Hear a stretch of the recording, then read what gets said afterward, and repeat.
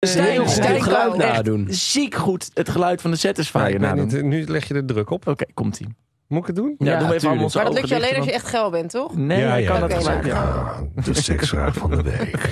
En dan is het. Ja, ik, voel me niet- echt ja. een beetje vies. Hoezo? Zo dicht in mijn oren. Ik voel me letterlijk een beetje... ASMR, Ja. Ja, ja, ja.